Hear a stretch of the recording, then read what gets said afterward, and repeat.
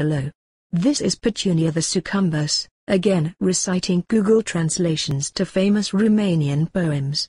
Today me shall recite a fragment from Grigore Alexandrescu's Umbra lui Mircea la Cozia, that is, Mircea's shadow at Cozia, the tower shadow over where a lying, to the contrary coast stretch, extend, S-wave generation foaming proud, cadence of the old monastery wall in it crashing, from a cave in the ravine, night stands, I'm preso or, edge of the rock, black faces are down, muscle wall to move.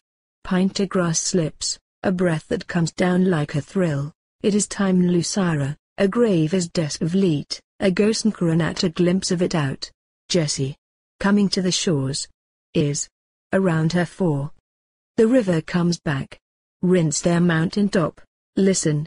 Great ghost beckons. Gives a command. Army camps, countless I raised.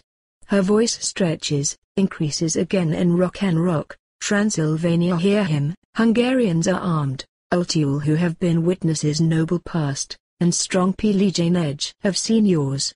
Great virtues, you are terrible facts known to you, who or may be the man who has Is he, as he shows his sword and armor, knight of faith, or master Tiber, Trajan, Rome to honor the struggle with nature, Dacia is the huge, or Emersa the old.